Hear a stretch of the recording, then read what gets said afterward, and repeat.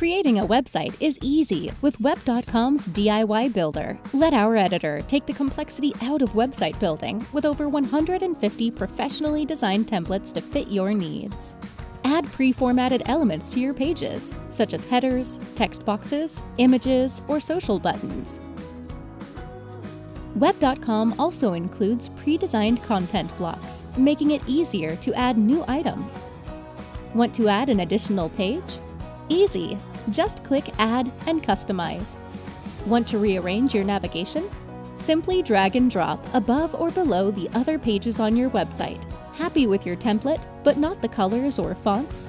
Web.com makes that easy too. Just select Theme and Modify. Update these elements for your whole website or just certain pages, giving you full control.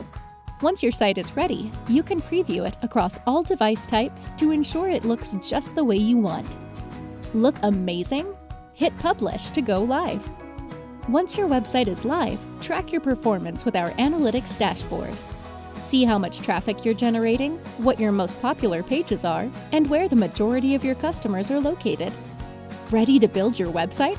Get started today.